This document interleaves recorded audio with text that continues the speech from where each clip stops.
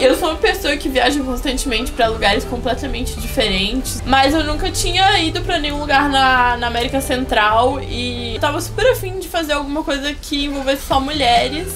E foi uma experiência super legal para mim, porque a gente pegou mares muito diferentes do que eu sou acostumada.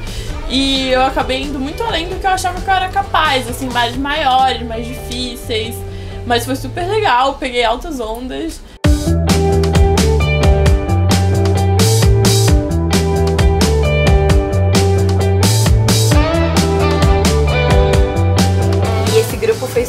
Abençoado, que eu acho que o que a gente mais deseja numa surf trip é chegar numa onda que a gente ainda não conhece, com um tamanho razoável, onde a gente possa se soltar e com o passar dos dias e subindo degrauzinho a degrauzinho, pegando um marzinho maior e foi exatamente isso que aconteceu.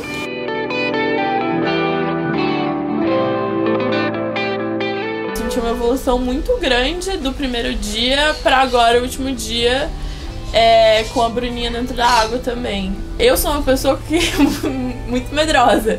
Então, tendo a Bruna na água comigo quando eu tô lá e é um mar que eu não conheço, mais desafiador, maior do que eu sou acostumada, me traz muita segurança.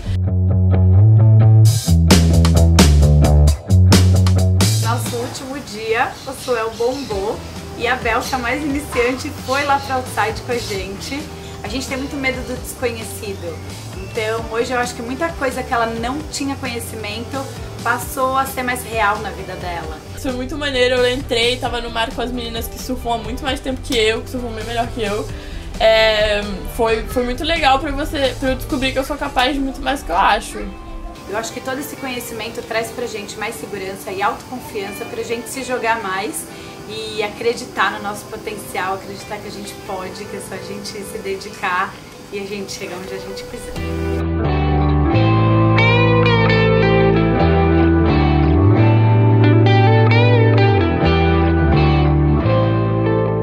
Eu já tinha ouvido falar que a Costa Rica era irada, que era muito legal, muito pura vida. E eu tinha muita vontade de conhecer e eu amei. Eu já estou pensando qual vai ser a próxima barca que eu vou embarcar também com a Bruninha que foi muito irado. É, eu super recomendo. Não esperava que seria tão legal assim. E é tão pertinho da gente. então, super vale. Real. Oficial.